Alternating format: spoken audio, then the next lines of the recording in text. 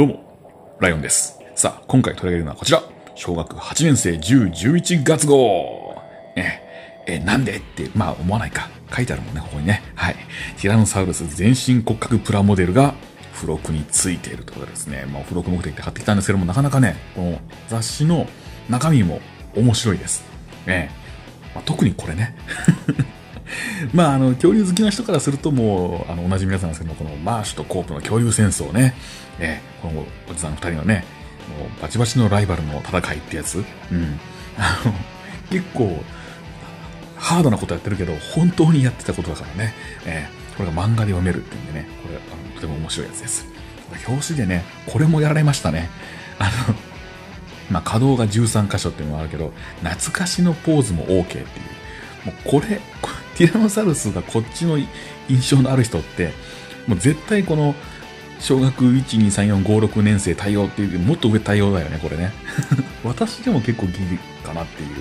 うん。で、えーまあ、このプラモデルは、ね、全長約22センチの大迫力。22センチですからね。だいたいティラノサウルスで最大13メートルぐらいあるんで、60分の1から70分の1ぐらいのスケールなのかな。はい。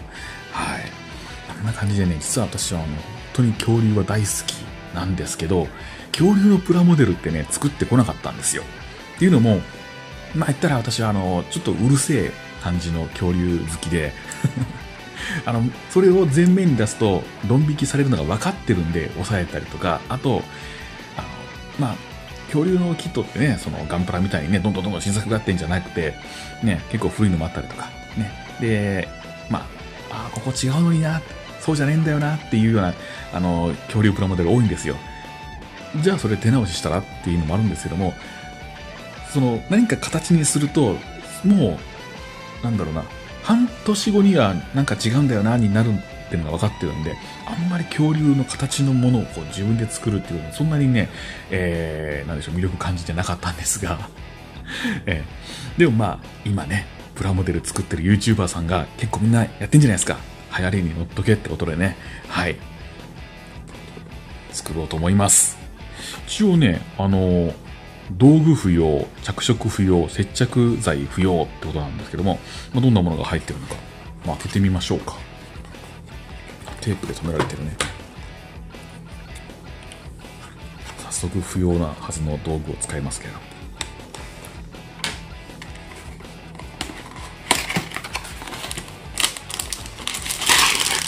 一応、ランナーに繋がってるね。なんか入ってる。なんだろう。ああ。これはまた関係なかった。えー、組み立て方は、この本の中に書いてあるのかな？うん。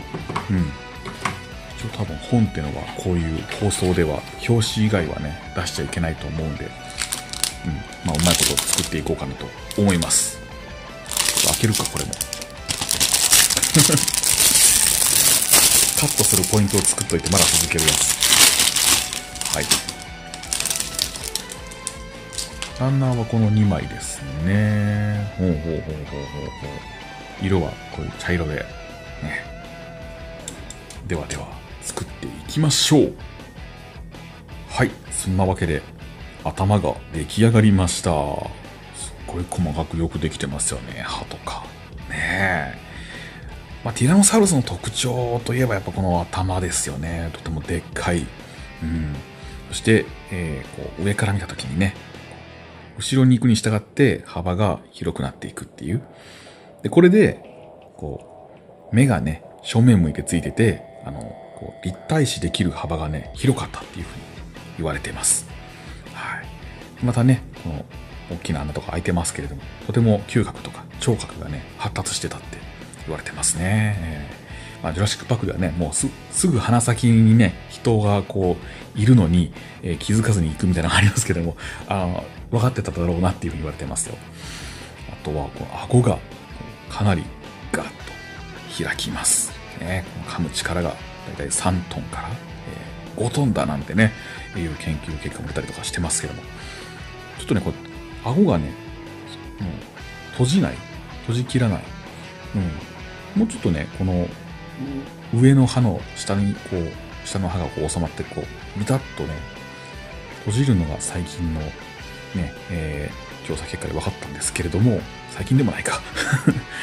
これ閉じる閉じないが、まあ、何が重要かっていうと、そのティラノサウルス、唇があったかどうかっていうのがあって あの、恐竜の復元図、復元のものって、その唇あるなしってかっこいいかどうかで、あの、省略されたり、ね、書かれたりしてるんですよ。ジュラシックパークでも、あの、ティラノサウルスは唇ない。でもベルキャプトルは唇あるっていう。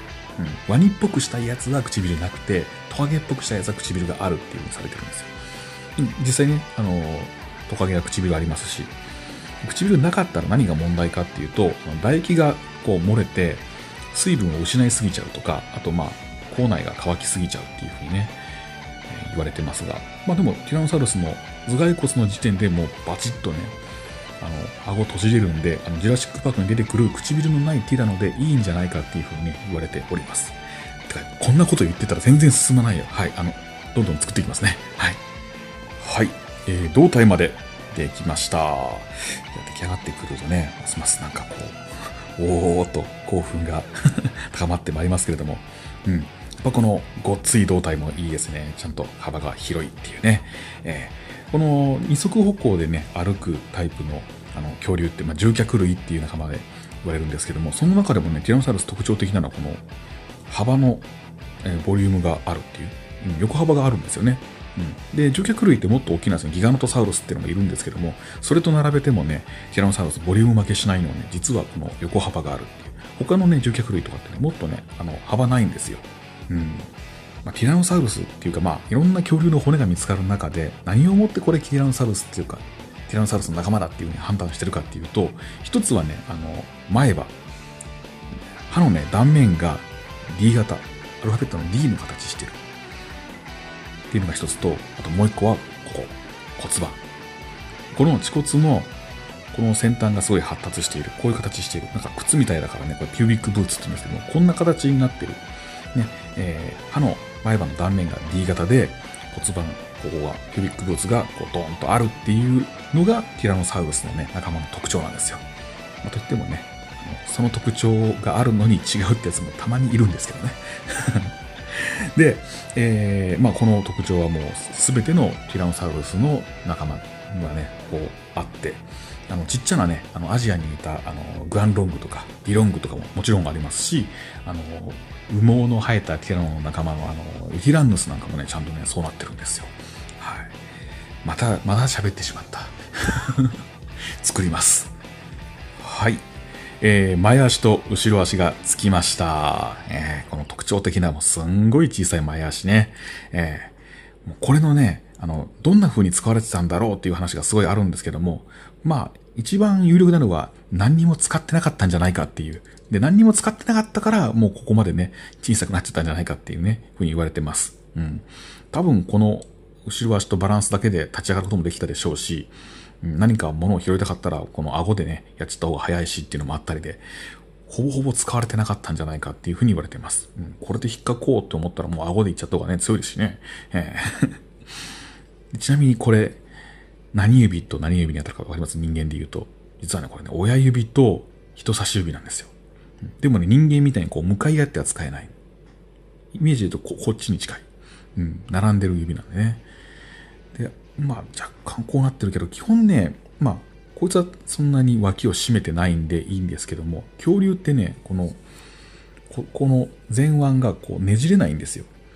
うん。この2本の骨がこう交差できないんで、だから、基本的に恐竜ってね、あの、小さく前に習いをしているものなんですね。でもなんかあの、ね、ジュラシックパークの影響で、ベロキラプトルなんかがね、こう前にダランってこうお化けみたいな手してるっていう。あれはちょっとおかしいんですよ。脇を締めてなおかつこうなってるのおかしい。こうなりたかったら脇をグッと上げないとね、こうですから、恐竜の手はね。はい。ああ、ベロキラプトルの話にまで行ってしまってるっていうね。後ろ足、後ろ足。なんといってもティラノサウルスはね、後ろ足が長いんですよ。うん。これでもってね、あのー、基本、あの、恐竜の大きさってこの頭から今作ってますけど、尻尾までの長さでね、ね何メートル、十何メートル出ますけども、足が長いんで、ティラノサウルスってね、巨大なんですよ。えー、しかも、この、太ももと、すね、これ大腿骨ですね。すねの足。で、足首からつま先までもこう長いっていうね。うん。なので、まあ、走れなかったっていう風に言われてるんですけども、走れなくても、この長い足でスタスタ歩くんで、結構スピードは出たと。まあ言ってもね、時速10キロぐらいなんで、まあ人間よりちょっと速いですね。まあでも人間でも陸上選手だったら逃げれるかな？ぐらいの感じですね。いや、本当細かくできてるなと思うのはね、ちゃんとね、ティラノサウルスの特徴がね、再現されてるんですよ。この中指の、この中指に続く骨。ここが、この両側の骨に圧迫されて、こう、ピュッてとんがってる。ね、矢の先になってるじゃないですか。これね、アークトメタターサルっていうね、かっこいい名前ついてるんですけど、こういう構造。あの、力がこうばらけずに、まっすぐ地面にドンっていう、歪めみたいな感じ。うん。なので、パワフルにね、あのガンガンガンガンパワーロスなくね、歩ける足してるんですよ、これ。はい。また喋ってるな。作ります。はい。尻尾もついて、ティラノサウルス完成しました。はい。いいですね。いいバランスですね。ね、この尻尾はね、あんまりこの稼働しないんですけども、これでいいんですよ。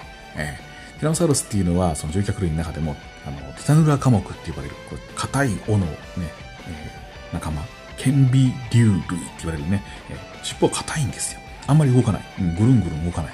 ね。まあ多少バランス取るためにね、しなる程度。うん。まあ現在のね、あの、鳥なんかもそうです。はい。まあこの辺にして、あの、行きましょう。あとはもうこの台座をね、えー、くっつければ完成ですからね。はい。はい。台座に取り付きまして、ティラノサウルス、今度こそ完成です。うん。とってもよくできてますね。えー、雑誌付録とは思えない。さすが、これはね、作ったのバンダイさんなんですけども。いや、素晴らしいな。もちろんね、あの、なんかこういうね、こうロボっぽい関節になってたりもするんですけれども、ね、ちゃんとこれが動かせたりとか、くっついてて動かせる恐竜のね、アクション骨格っていうのかな。いいよね。で、この台座の取り付けられてる、この感覚が絶妙なんですよ。そう、ティラノサウルスって実はね、ちょっと内股で歩くんですよね。これはあの、足跡の化石から分かったんですけれども、ガニ股でのっしのっしじゃないんですね。こう内股でモデル歩きみたいなね、感じで、スタスタと歩くのがティラノサウルスなんですよ。へー。とか言ってますけども、あれこれね、語ってますけれども、こんなもんね、数ヶ月もしたらね、いや、それもまた違ってってなるもんですからね、えー、こういうの語ってるのがね、こう映像に残るのは結構恥ずかしかったりもするんですけども。いや、もう恐竜はね、やっぱりね、ちょっとね、うるさいしね、みんなに惹かれると思うからね、今後もね、控えていこうと思いますよ。はい。と思ったんですけどもね、実は、はい。小学1年生も買ってきちゃった っていうのも、トリケラトプスのプラモですよ、今度は。いやー、また、あの、次やるときは、ね、トリケラトプス作るときは、あの、ほどほどにして、ね、パパッと作って、ね、トリケラトプスいいですね、ぐらいの感じでね、いきたいと思います。なので、えー、うわ、ちょっとあの、ライオンさんのその恐竜のうんちくうっせえわと思った皆さん、すいません。もう一回ぐらい恐竜やるかも。ロボとかミニ四駆楽しみにしてる人ごめんなさいね。じゃあ、また会おうぜ次はトリケラトプスだ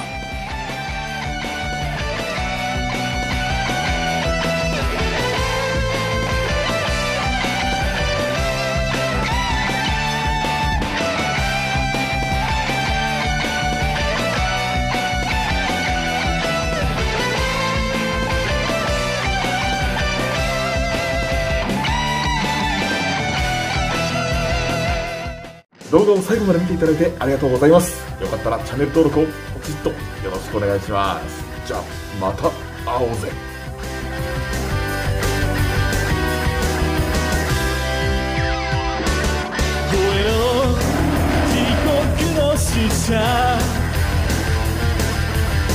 闇が空を